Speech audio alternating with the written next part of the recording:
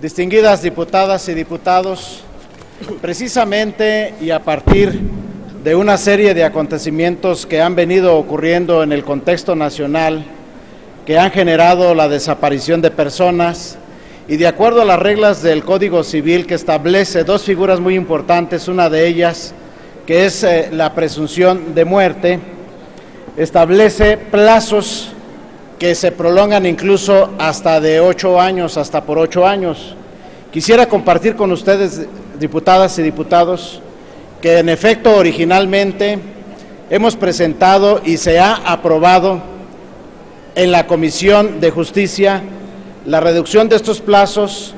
habida cuenta de que existen personas, ciudadanos normales, que han sido víctimas de desaparición y los derechos que tienen sus familias, los derechos que tienen a la sucesión, los derechos que tienen a la obtención de beneficios sociales, los derechos que tienen adquiridos a través incluso de compromisos de contratos para el pago de seguros de vida, se prolongan de tal manera que el efecto positivo que pudiesen tener las familias de víctimas de este fenómeno de, desapariciones no se está dando.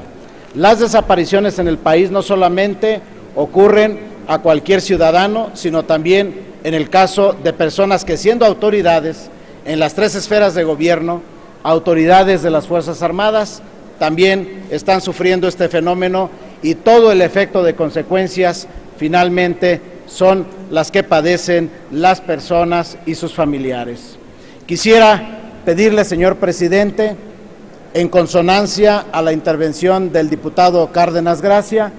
me permita presentar una reserva precisamente en este dictamen para que el plazo, el plazo de seis meses, sea aumentado hasta de nueve meses, toda vez que nosotros hemos tomado en consideración dos cuestiones muy importantes. Una de ellas es precisamente el tiempo en que en un momento dado se tiene que dar de tolerancia para poder determinar en un momento determinado la, declaración de ausencia y pasar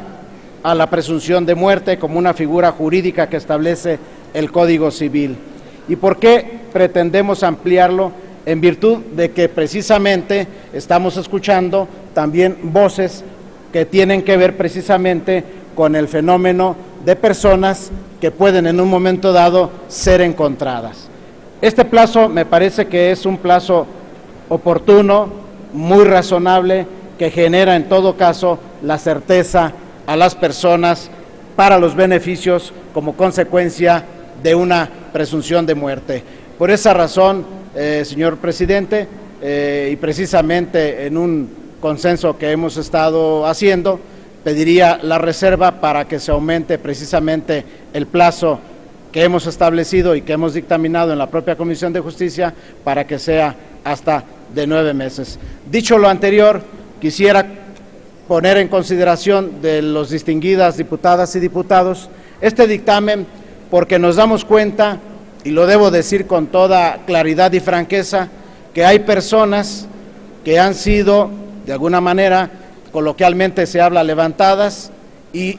los extinguen los extinguen con métodos que todos hemos conocido a través de los medios de comunicación y esto ha producido en todos esos procedimientos sucesorios o procedimientos en donde se trata de obtener los beneficios sociales a sus familiares, un trámite que se prolonga incluso hasta por ocho años. Esa es la razón fundamental por la que sabemos que en ocasiones, incluso en averiguaciones, está claramente confeso el autor de un delito de esta naturaleza y plantea cómo utilizando sustancias químicas ha logrado la extinción de una persona sin que se tenga la evidencia de muerte. Y esa es la razón fundamental por la que apelo a la comprensión de esta soberanía para que el dictamen que se emitió en la Comisión de Justicia que preside el doctor Humberto Benítez Treviño sea aprobado en esos términos con la reserva que acabo de presentar en el sentido de que el plazo de seis meses aumente hasta de nueve meses. Es cuanto, señor presidente.